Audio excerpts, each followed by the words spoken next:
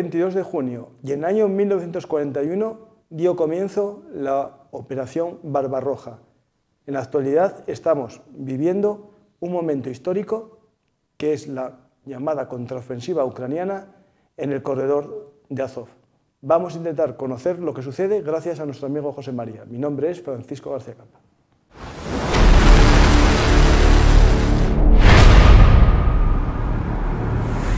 Hola, José María. Hola, hola, ¿qué tal? Nada. Vamos a, volver a hablar de, Ucrania. Hay más sucesos en el mundo. Es cierto que estos últimos días eh, salieron en los telediarios las, noticias de Israel y de Cisjordania y los combates en las ciudades cisjordanias, eh, que no había sucedido esto desde hacía mucho tiempo. Eh, la problemática en Israel se había producido siempre en Gaza y ahora en Cisjordania hay combates, ataques eh, de guerrilla contra las tropas israelíes que entraron y estaremos atentos de lo que suceda eh, en estos momentos y a corto plazo en Israel. Hoy vamos a hablar de Ucrania y el mapa de José María ya está atento. ¿Qué tal, José María? Hola, hola, muy bien. Pues sí, nada, decías tú antes eh, que hoy, bueno, no, ayer se cumplió el aniversario de la Operación Barbarroja, pero claro, la gente, por si no lo hay que decir que era la invasión alemana de la Unión Soviética en 1941. ¿Eh? Bien. Una, eh, una escala de millones, se calcula de casi dos millones o, tres, depende del momento, de soldados alemanes penetrando Sí, sí, eh, quizás la operación más grande de toda la Segunda Guerra Mundial. Y hay que decir que en aquel momento, en aquellos días, bueno, sabemos que es operación que que no condujo a la caída de la Unión Soviética. Los alemanes llegaron a las puertas de Moscú, a las puertas de, Leningrado, hoy San Petersburgo. ¿eh? Es cierto que conquistaron toda Ucrania, Kiev incluida, ¿eh? Pero, pero la Unión Soviética no se derrumbó, no se derrumbó y al final, bueno, todos sabemos cómo terminó la historia. ¿eh? Alemania perdió la guerra ¿no? y, y la USA recuperó. Pero en aquel momento, en aquellos días y en aquellos meses de verano y otoño de de 1941, nadie daba un duro por la Unión Soviética, casi nadie. ¿eh? Todos los analistas militares de aquel momento, estados mayores y expertos, eh, vaticinaban un triunfo arrollador de Alemania. ¿eh? Y, las primeras semanas y meses parecía darles la razón, pero luego sabemos que, el avance alemán se, paralizó o se agotó, mejor dicho, a las puertas de Moscú. Al parecer solamente el Estado Mayor japonés fue el único que, por lo visto, apostó porque la Unión Soviética resistiría pero el Estado Mayor de los Servicios eh, Secretos de Estados Unidos, de, los países occidentales, de Inglaterra y tal, todos eh, daban ya por hecho que, que la Unión Soviética se derrumbaría. ¿eh? Pero a pesar de eso, en el 42 le apoyaron militarmente mucho los Estados Unidos para que aguantase. Sí, pero yo creo que le apoyaron porque vieron que aguantaba. Efectivamente, si vieron que, vieran que se iba a caer, entonces ya no, no habría tal apoyo. Algo parecido con lo que pasa con Ucrania, que yo creo que el apoyo a Ucrania de verdad empezó a fluir a partir de más o menos el tercer mes de la guerra, cuando los americanos se dieron cuenta de que Ucrania había plantado cara prácticamente en solitario ¿eh? a las fuerzas eh, rusas, que, Kiev había resistido, ¿eh? que los rusos habían tenido que abandonar Kiev humillados y destrozados, y entonces fue cuando Estados Unidos vio su gran oportunidad de decir a estos señores los vamos a apoyar porque ellos solitos han logrado quebrar el espinazo del ejército ruso y ahora merece la pena que les apoyemos para que sigan adelante.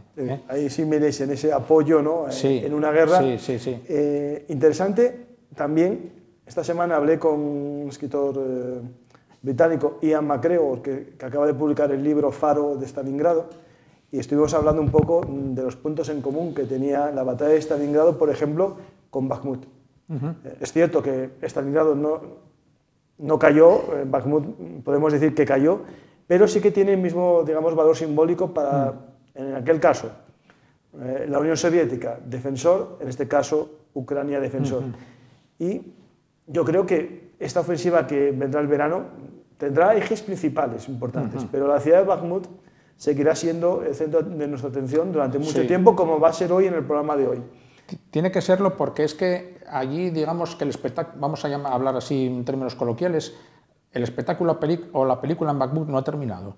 No ha terminado. De hecho, vamos a ir a, Oblast de Lugansk, que nos mm. pongan ahora el mapa del Oblast de Lugansk, eh, en el que aparecerá la ciudad de Bakhmut y otros focos de interés. Tenemos eh, en ese eje de Bakhmut al norte, en el Oblast de Lugansk, está sucediendo más cosas que en la propia ciudad de Bakhmut. Al norte, ¿no? en en los bosques ¿no? de Kremina. Eh, los bosques de Kremina. Ahí los rusos están contraatacando. Unos contraataques limitados, es cierto. ¿eh? Han ganado unos centenares de metros porque y ya puede considerarse el país un éxito. Porque ya sabemos que en esta guerra, a pesar de que eh, Ucrania es un país inmenso, el carácter de la lucha en esta guerra hace que unos centenares de metros cada bando pueda reconocerlos como, como un triunfo.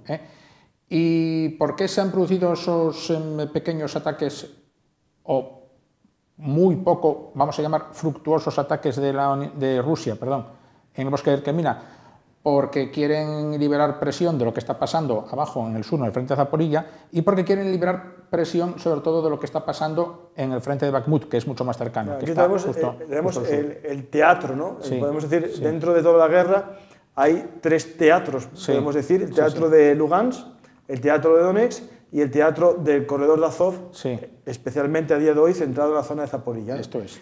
Pues tenemos en el teatro norte, nororiental, eh, al norte de la ciudad de Bakhmut, que más o menos todos los seguidores del programa ya lo conocéis, hay un bosque eh, cerca del, famoso río Siversky Donetsk, eh, hay una zona boscosa que durante meses los ucranianos trataron de tomar el bosque para llegar a la ciudad de Kremina y los rusos defendieron muy bien esa zona y ahora son los rusos los que quieren avanzar en ese territorio y se encuentran con la misma problemática que se habían encontrado los ucranianos. Eh, unos bosques que dirigen todo el avance a unos caminos y en esos caminos te está esperando el, contrario. Ahí, algo que podemos destacar de, este, de, esta zona y también nos sirve para el resto de, de escenarios es que, según todas las fuentes de inteligencia, los que llevan los ataques en esta zona son los llamados grupos Storm Z, unos grupos, mm, podemos decir, de choque, pero débilmente armados. Hacía tiempo, aquí en Juegos de Poder, os comenté una unidad que se había creado que eran destacamentos de asalto, destacamentos de, de choque, que eran unidades que tenían vehículos blindados de protección y también mucho fuego de mortero, mucho, incluso lanzallamas, y ahora que se crearon estos grupos Storm Z, organizados en cada brigada, pero formado por voluntarios. Y aquí lo de comillas voluntarios, porque al principio era cierto que eran voluntarios de una unidad que se unían a estas compañías de Storm Z por el sueldo. ¿no? El sueldo es mucho más alto que el soldado ordinario, pero según todas las fuentes actualmente, estamos hablando de voluntarios muchos de ellos presidiarios que a cambio de salir de la cárcel van a estas unidades Storm Z.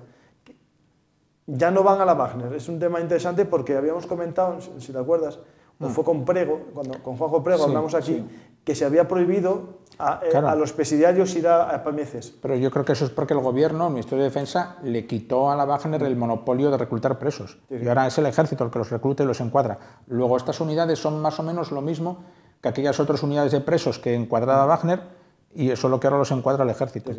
Pero yo lo que me temo, que yo, y además ya lo hemos visto, es que estas eh, gentes, o desgraciados, vamos a decir, están llamados a, luchar y morir porque detrás tienen a los destacamentos de bloqueo que disparan sobre ellos si, si amenazan retirarse. Ya vimos vídeos y ahora incluso ya se sabe que están organizados por tropas de las Rosguard, de estas guardias chechenas. Chechenas, sí. sí, sí, sí ya, ya, está confirmado, más o menos, ya no hay mucha duda. Y nada, están, son gente, vamos a decir, desde el punto de vista ruso, prescindible.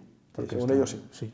sí, eh, pues tenemos esta zona de Cremina, que hay que fijarse porque es la salida, digamos, natural de una zona que, que, está protegida por unos desfiladeros y la zona más llana sería esta salida aquí, pues Cremina es importante. Y ya si nos vamos a la ciudad de Bakhmut, sigue habiendo avances. ¿no? Los pequeños pero constantes diarios avances ucranianos por los dos flancos de Bakhmut ya. Ahora ya hemos dicho que ya hace un tiempo que el frente de Bakhmut prácticamente se rectificó. Y entonces ahora Bakhmut ya no está en el fondo de una bolsa, ahora ya hay un frente casi continuo. ¿eh? De todas formas sigue habiendo dos flancos, uno norte y otro sur.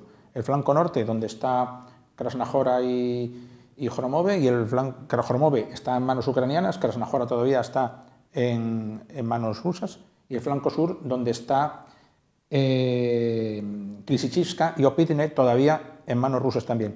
Pero es que los ucranianos están a cientos de metros de esas localidades. Antes estaban a kilómetros, ahora que están a, cientos de metros. Y avanzan unos pocos cientos de metros cada día, pero eso sí, pero es que un avance tan costoso porque van tomando metro a metro, trinchera a trinchera. Y hemos visto aquí, un, bueno, aquí no, pero hemos visto por televisión, yo creo que han salido, yo lo vi por Twitter, pero bueno, unas imágenes realmente cruentas de cómo los ucranianos tomaban y limpiaban una trinchera. ¿eh? Una, lucha literalmente cuerpo, cuerpo a cuerpo. Bueno, pues ahí es el carácter de la lucha, eh, siempre lo fue, ¿eh? ahí en el, en el frente de, de Bakhmut. ¿no? Y luego, algo más al sur, en el Oblast de Donetsk, en torno a Donetsk capital, sigue la lucha en el entorno de Abdivka, ¿vale? Entonces, ahí había dos, también dos flancos, el flanco norte donde estaba mm, Krasnohorivka y el flanco sur donde estaba Marinka. En Marinka las, luchas ya, bueno, empiezan, llevan desde, desde 2014. ¿eh? Esa zona, digamos que el avance del 2014 a la guerra y lo que se avanzó desde la retirada de Kiev hasta ahora, podemos hablar que es el aeropuerto que era la, frontera, le metieron como un kilómetro hacia el norte. Eh, para que veamos que, el avance en un año y medio ruso eh, en esta zona no superó los tres kilómetros en ninguna zona. No, no, no, no, no. Y los rusos estos últimos días han intentado presionar aún más en Marinka, han ganado unos pocos metros de terreno más y ahí pretenden eh, comprometer la posición ucraniana en Bujledar, que está un poco más al sur, porque Bujledar es uno de los posibles ejes de avance ucranianos en la en la hipotética ofensiva que todo el mundo espera. ¿eh? Entonces, claro, si atacan o, avanzan por ahí por Marinka, bueno, hacen que, que ese ataque en Bukeledar sea más comprometido. ¿eh? Y los ucranianos, por su parte, porque esto es un juego con un poco de toma y daca, empujo por aquí, empujo por allá, ¿eh? han empujado al norte de Abdivka y han alcanzado Krasnohorivka. Que hay, a ver, es una de las Krasnohorivkas que hay en Ucrania, que hay muchas. Pero bueno, sí, sí, sí, sí. Que esa es una localidad ¿Qué, tiene de novedad ese sitio? No tiene nada especial. Tiene de especial que eh, está ya dentro de la línea de 2014. O sea, los ucranianos habían sido expulsados de allí en 2014 y ahora vuelven, después de tantos años, a recuperar esa, esa localidad. ¿eh? Y, alguien me dirá, ¿por qué, ¿por qué me vienes ahora con rollos de 2014 si estamos en esta guerra? No, es que esta guerra en realidad es la continuación de la otra guerra del Donbass que ya viene en 2014. Ahora, Ucrania aunque a nosotros no nos cueste trabajo entenderlo, es un país que lleva en guerra con los rusos desde 2014. De hecho, la confirmación total de este hecho lo, dijo hoy Prigozhin en un vídeo en el que viene a afirmar más o menos lo siguiente, que en el 2014 nos disparaban a nosotros, a los rusos, no a la población ucraniana de la zona del Donbass, y que eh, realmente la causa de esta guerra no es haber salvado al, don, al Donbass, sino otras. Y lo dijo Prigozhin, eh, que todo el mundo lo conocéis ya, eh, hoy en un vídeo, podéis buscarlo, hoy no, hoy no, fue ayer, ayer, eh, sí, ayer por la mañana, sí. sí, sí El vídeo lo traduje hoy en inglés yo para ver si la fuente era real y es cierto. Dicen lo mismo con el, la IA que traduce del ruso al inglés, que, que, uso yo, como también todos los, los tuiteros. Es decir, Prigozhin está diciendo cosas que ponen en duda el discurso oficial. Oficial ruso, claro. claro, sí, sí, sí, Es que el discurso, lo que dijo es muy fuerte, es decir. Es verdad, pero es muy fuerte. ¿Por qué? Porque el discurso oficial ruso dice que desde el 2014, desde hace nueve años, Ucrania masacra sin piedad a la población local de, de Donetsk. ¿eh? Y no es verdad porque no es verdad. Además, eso es que son ucranianos después de todo. O sea, puede que... No, bombardeos sobre ciudad de no la, No, la ciudad de Rondones no, no, no, fue atacada ¿eh? por Ucrania. Ahora, en esta guerra... Eh, no, pero eh, el relato oficial ruso viene a decir que, que, que, los ucranianos llevan masacrando miles de personas en donde están. Y ahora, ahora viene Prigozhin y lo desmiente. Hay una cifra que se usa mucho en los canales que quieren justificar esta invasión, es el 17.000 muertos, ¿no? Eh, realmente, eh, con la gente que yo hablé de una agencia que se llama Stop, Stop Fake News, eh, una chica dice que esa cifra no es falsa, pero es el total de muertos entre soldados ucranianos, soldados del Donbass, soldados rusos y población, civil. de ambos bandos.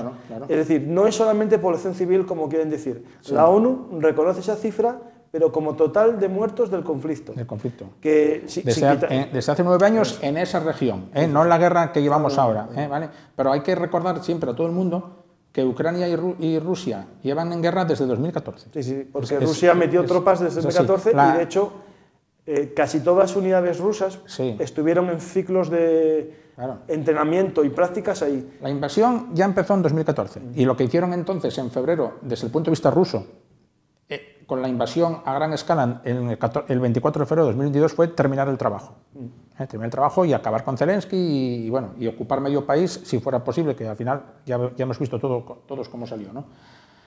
Eh, bien, y eso es lo que está pasando ahí, ahí en Donetsk. Una, una, pregunta que, que, vamos a hacernos ahora mismo, y así rápidamente, es el problema que puede tener Ucrania si avanza y se mete a combate urbano. Claro, si se mete a un combate urbano en esa ciudad de Donetsk, que es inmensa, es una ciudad muy grande, muy extensa, eh, el problema que, que, puede tener es la, la, prensa. ¿no? Es decir, lo que nosotros eh, ahora vemos que Rusia hace en las ciudades que toma, la destrucción total, estará o podrá Ucrania y, la, y, nosotros como sociedades, ¿no? que apoyamos, eh, los, nuestros países apoyan la causa ucraniana justificar que destruyen una ciudad. Claro, Ucrania tiene un problema mm, de gestión de ese, tipo de combate urbano.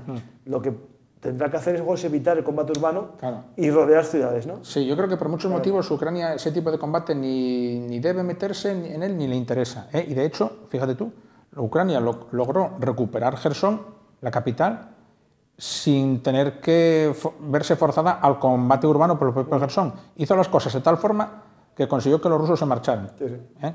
O ahí habría mucho que, decir de Yo tengo mis teorías también de por qué los rusos se marcharon aparentemente, bueno, de, no por las buenas, pero, pero esa marcha de los rusos fue tolerada por Ucrania, porque Ucrania los tuvo en su punto de mira durante 48 horas y permitió que cruzaran el río y abandonaran sus posiciones.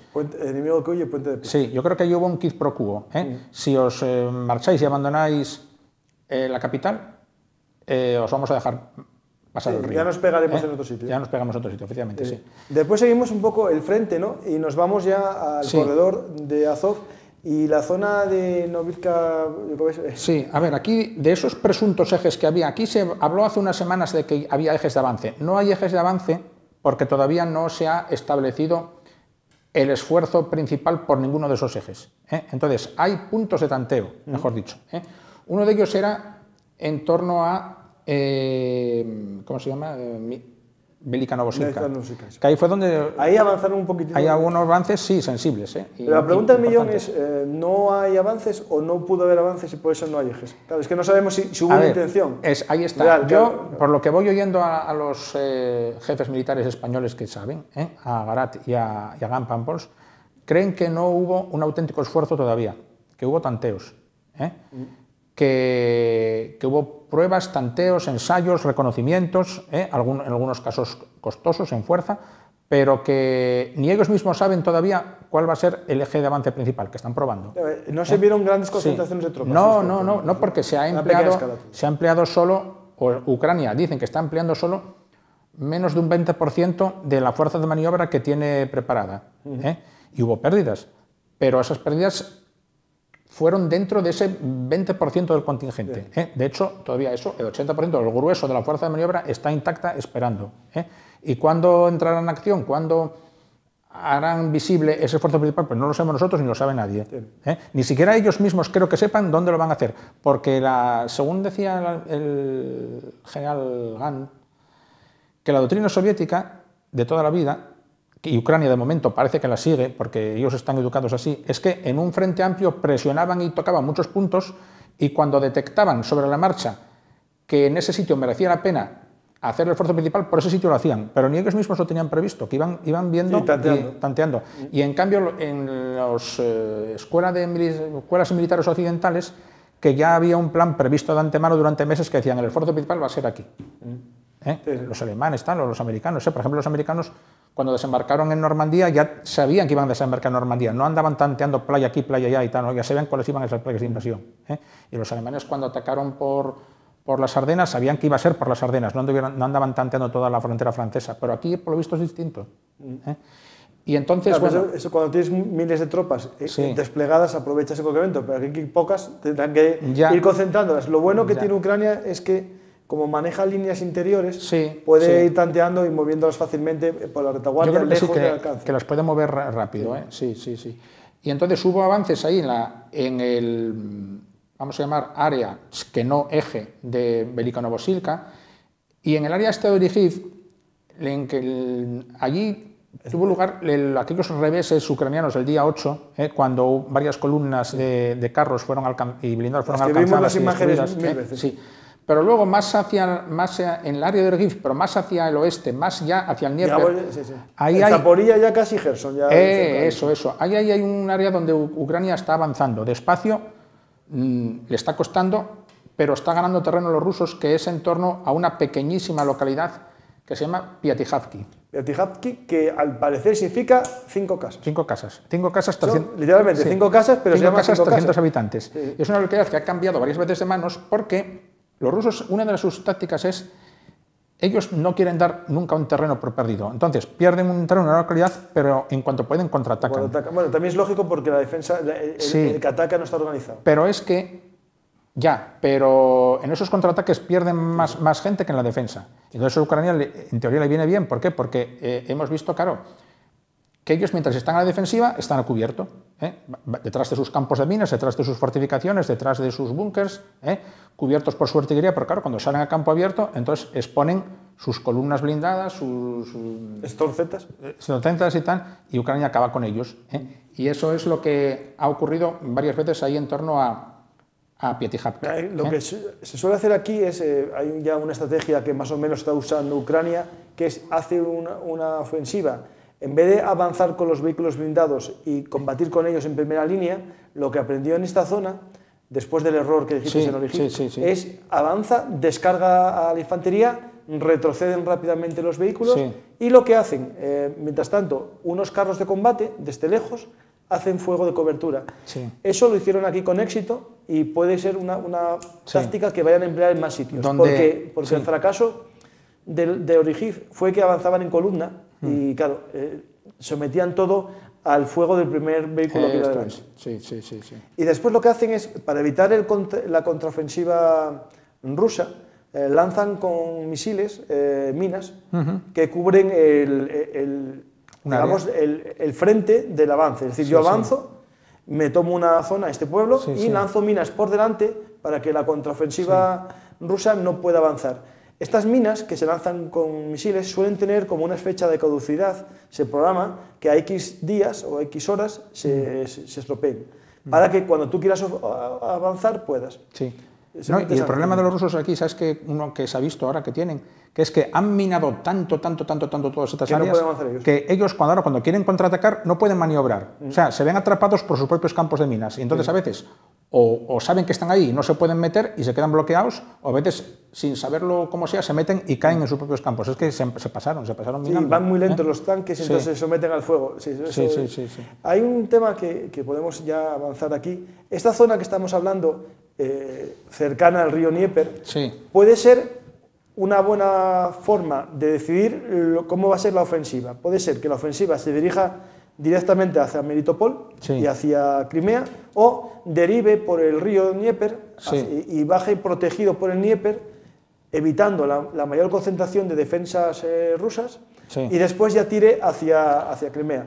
A ver, es que desde donde están ahora ahí en, ese pequeño sitio de Piatihavki, aparentemente Melitopol no está tan lejos, no está tan lejos, pero sí está lejos, sí está lejos, sí, sí. O sea, desde nuestro punto de vista no lo vemos tan lejos, pero en esta guerra que cada kilómetro cuesta tanto avanzar... 60 kilómetros 70, Pero hay otro objetivo, en teoría secundario, pero que para mí desde muchos puntos de vista, político, propagandístico y de otros índoles, es vital que puede ser la central de Energodar. La central nuclear de La central nuclear de Energodar que vuelve a estar en la palestra otra vez ahora, por el tema que vuelve a surgir el fantasma de la, del accidente nuclear provocado. ahí tenemos eh, el problemática del, agua de refrigeración, que es verdad que el embalse de refrigeración está bien por ahora, el embalse del pantano, ya lo sabéis, que se destruyó, con ya no queda nada, hay imágenes en las que podéis ver el embalse casi totalmente seco y solo queda el cauce real del río, el cauce natural del río, que es más estrecho y puede ser fácilmente variable en, algún, momento. Digo, fácilmente, bueno, eh, entre comillas. Entre comillas, no, lo, sabemos, no lo sabemos. ¿eh? Es que a Ucrania ahora se le abren dos posibles direcciones de avance. Una, más larga, mm, directamente norte-sur, en dirección a Melitopol, que yo la veo todavía muy problemática porque ahí las defensas rusas son muy densas, pero otra que es girar hacia el oeste, bordeando el río, dejando el río en tu flanco derecho, el flanco derecho tuyo te lo cubre el río, ¿eh? Y, y, moverte en dirección oeste directamente hacia Nergodar. Y ahí hay distancias más cortas y ahí las defensas son menos consistentes. Y tendrías que ponerte a las puertas de Nergodar por el sur y, si fuera posible, lo que tú dices, combinarlo con una operación de cruce del río.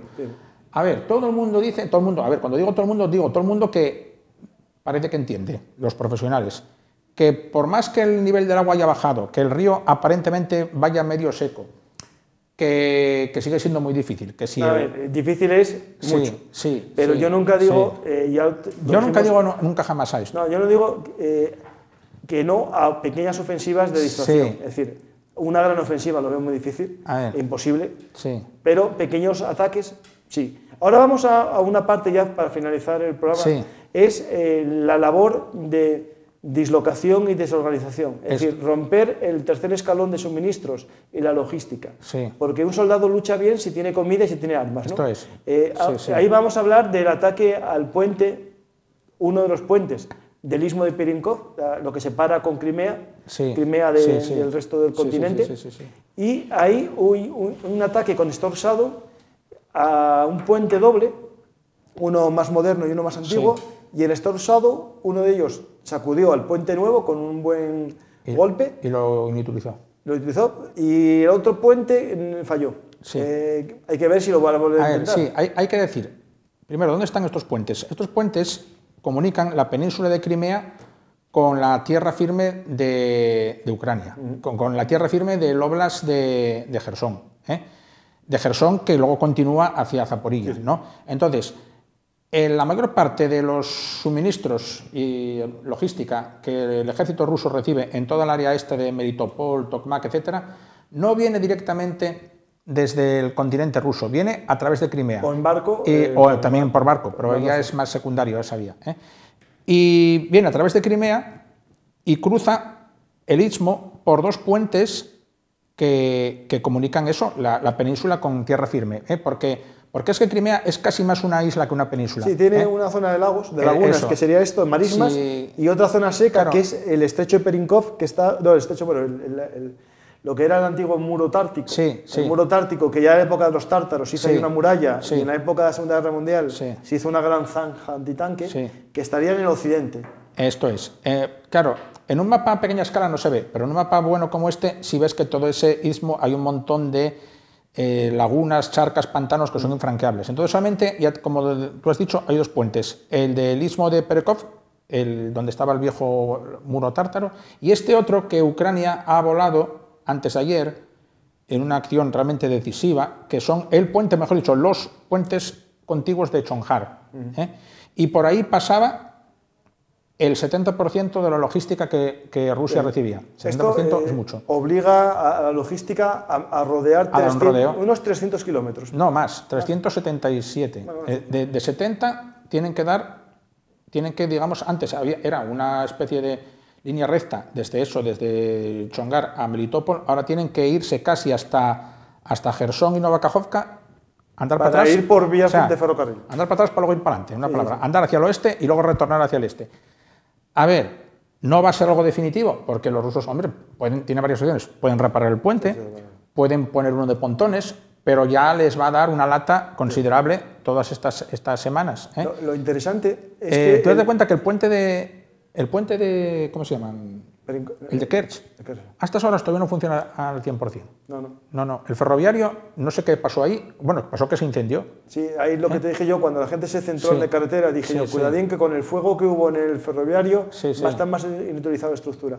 Hay una cosa eh, importante en este tema que se me acaba de olvidar cuando... Espera, espera, ¿qué te iba a decir yo? Era para finalizar. Hmm.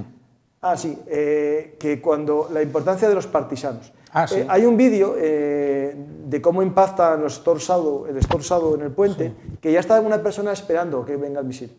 Lo está grabando. Sí, sí, sí, lo está grabando. Lo está grabando con un móvil desde la orilla y cuando impacta no se asusta, porque está esperando por él. Se ve cómo tiembla la mano, no es una cámara fija, es una cámara grabada de móvil y se ve el impacto. Por lo tanto, es muy extraño que alguien esté grabando ese puente justo cuando cae un pepino. y, el encuadre sea bueno. Está, no, está justo ahí. y también estos días hubo ataques a ferrocarriles. Sí, también. Eh, también. Eh, vías, demolición de vías eh, en la zona. Lo de la lucha de, los partisanos es algo tremendo. Ellos atacan y también son capturados, pobres de los que capturan. El encargado de capturarlos es el FSB, que es el antiguo KGB, que es el que se encarga de la seguridad interna. Esto es.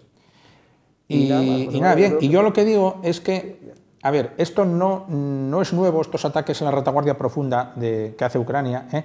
pero quizás es, yo creo que por donde tenían que haber empezado. ¿eh?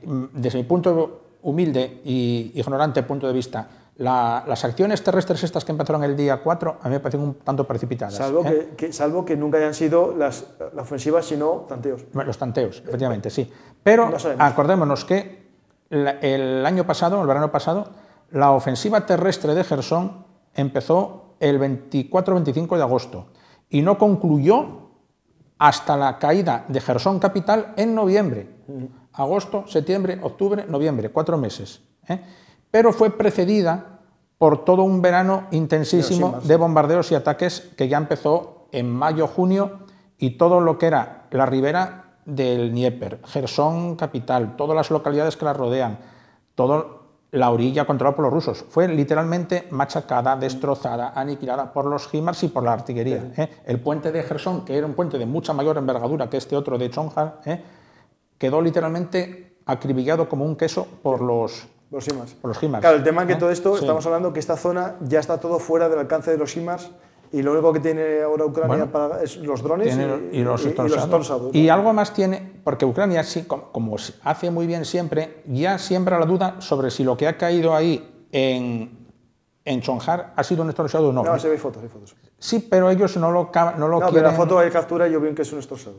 O sea, no es un IMAS. no, no, un IMAS no, pero hay otros, hay otros eh, tal. Tienen, tienen al parecer uno que es resto de, de la época soviética, el Vilja, el Vilja M o Vilja J o no sé qué quizás no tenga tanta precisión. Bueno, pero a ellos les interesa sembrar esa duda, para que nunca se sepa, a veces ni, si fueron ellos o no, que serían, evidentemente, y otras veces qué tipo de arma o qué tipo de cohete han utilizado. Mm. ¿eh? Pero bueno, hacen bien, sí, yo creo. Hay que generar dudas. Pues José María, muchas gracias eh, por esta explicación y al resto, pues eh, espero que os haya servido para comprender un poco lo que sucedió esta semana en la guerra en Ucrania y poco a poco iremos intentando esclarecer lo que sucede y también explicaros otros hechos eh, geopolíticos que sucedan en el mundo. Esta vez solo hablamos de la guerra en Ucrania, pero otro día quién sabe si habrá un hecho que llame nuestra atención. Gracias y hasta la próxima jugada en Juegos de Poder.